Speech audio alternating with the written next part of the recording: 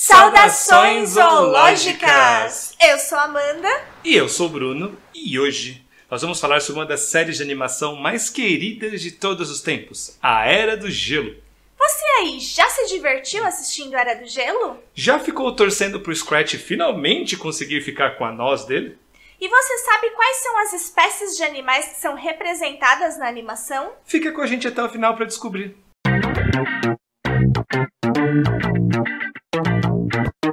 A Era do Gelo é uma série de animações que conta atualmente com cinco longa-metragens, sendo o primeiro do ano de 2002.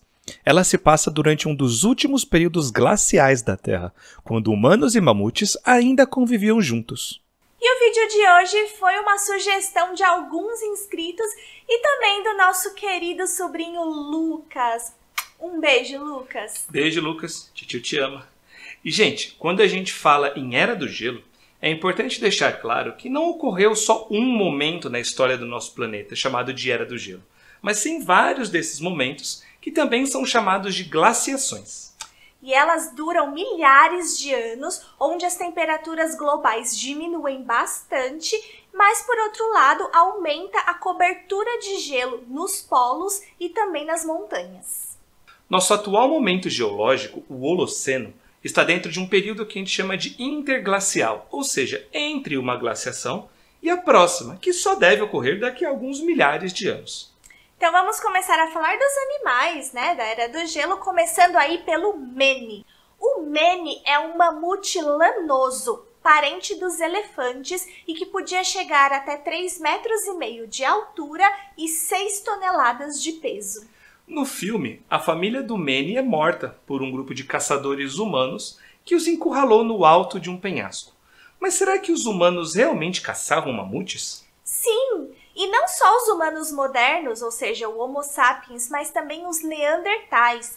As duas espécies de humanos muitas vezes dependiam da caça dos mamutes para conseguir sobreviver e utilizavam aí várias partes de seu corpo. Por exemplo, além da carne que eles utilizavam na alimentação, eles também poderiam utilizar os ossos do mamute como material de construção, como adorno para rituais religiosos, como ferramentas, e o marfim de suas presas também era usado na produção de objetos artísticos. E esse marfim vinha das enormes presas que o mamute possuía, que servia, obviamente, também para ele se defender, mas também poderia servir para os machos disputarem aí tanto território ou disputarem as fêmeas. E um outro animal bastante emblemático da série é o Cid.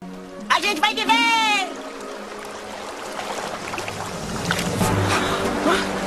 A gente vai morrer! que era uma preguiça terrícola, ao contrário dos seus parentes atuais, que são as preguiças que vivem nas árvores e são arborícolas. Mas se o Cid era uma preguiça e vivia na Era do Gelo, ele não deveria ser gigante?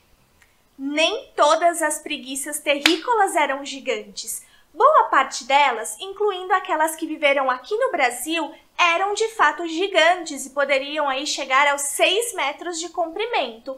Mas lá na América do Norte existiram preguiças bem menores, como o Cid. E um detalhe curioso dessas preguiças é que elas poderiam andar nas quatro patas e eventualmente se levantar nas duas patas traseiras, ou para assumir uma postura mais defensiva para se defender de predadores, ou para de repente alcançar alimentos mais altos nas árvores. E uma curiosidade também é que o tamanduá, um parente atual das preguiças, também pode assumir uma postura bípede quando ele se sente ameaçado.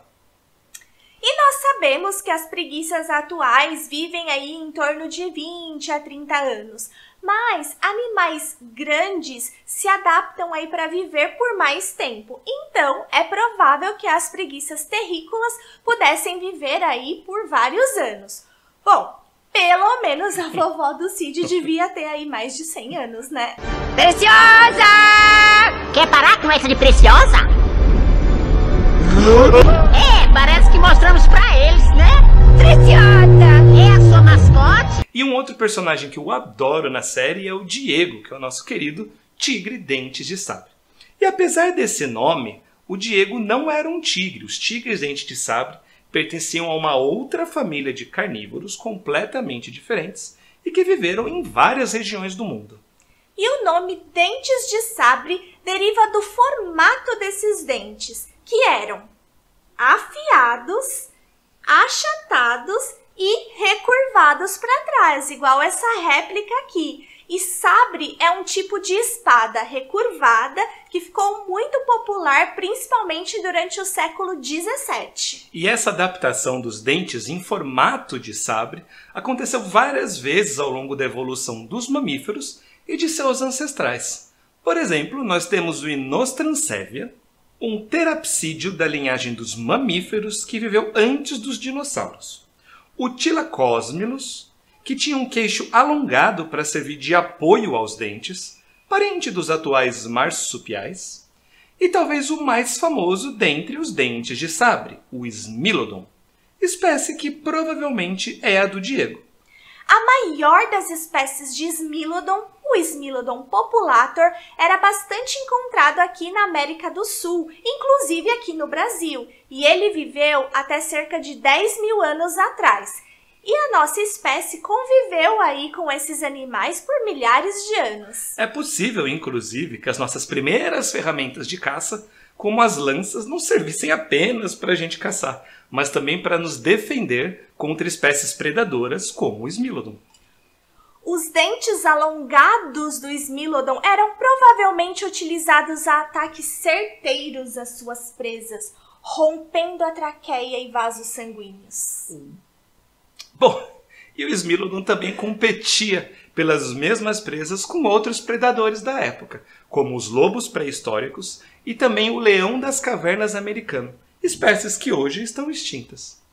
Agora, um dos animais que mais faz a gente rir quando aparece é o Scratch, buscando incessantemente suas nozes.